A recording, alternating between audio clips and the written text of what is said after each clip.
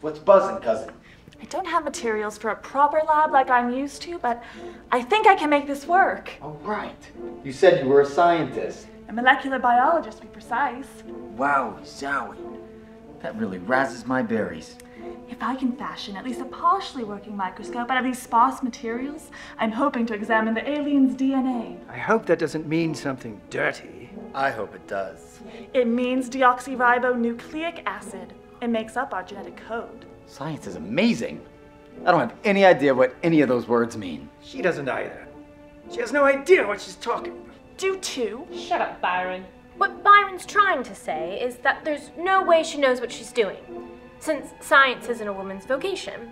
And furthermore, since Byron has extensive experience with acid with his work in the CIA, he can test that we're made of acid. Further proving that Byron, as a man, already knows more about science than Shelley, a woman. It's a convincing argument. Oh, sit on it. There's no job a man can do that a woman can't do equally or better. Exactly. We're all the same. I got this. We're all people. We're all the same. Okay, sure. Men and women are the same. But what about people who look different? Like people with black hair or brown eyes. Science tells us that we're all the same. That's also a convincing argument. Byron believes that science is a shuck, but I believe him. Never mind. I don't believe you after all. Fine. You don't have to believe me.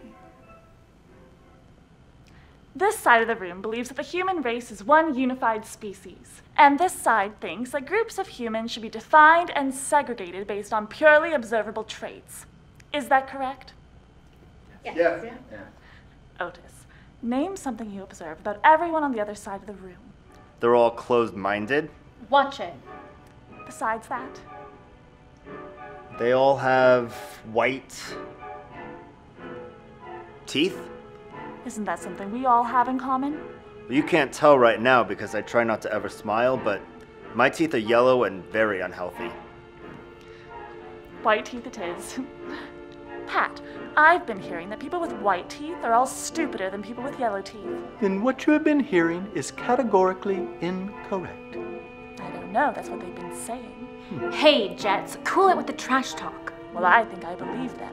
I said, lab coat. I don't want to have to hit a woman. Not today. Again. Oh man.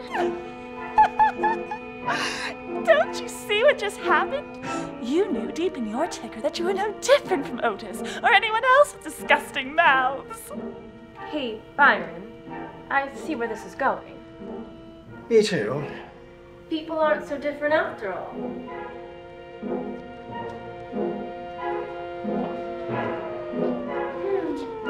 That's plenty.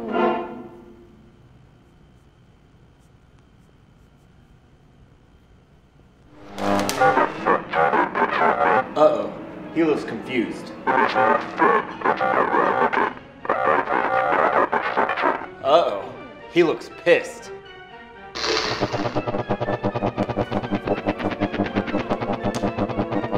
Uh, Shelly, what are you doing?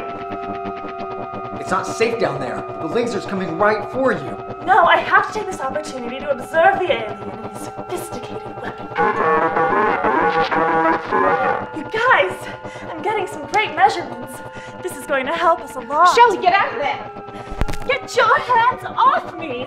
This is important work. Not if you die. I'd rather die making a contribution to society than live without making a mark. You're going to be zapped away. You're not going to make a mark.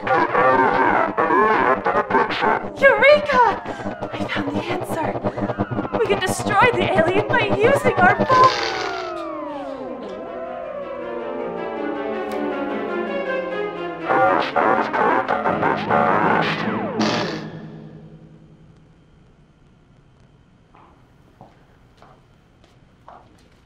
Maybe we can make sense of this and keep her sacrifice from being pointless. Nothing can prevent her sacrifice from being pointless. Well, it did do one thing. What? It proved she was a real scientist. I do not see that as being the lesson. The lesson was she had some fundamental screws loose. No, she taught us about science. And how we're all the same deep down. And she proved it to us by showing us how united we six were against her actions. She bridged the divide between us by unifying us. Hmm. Nope.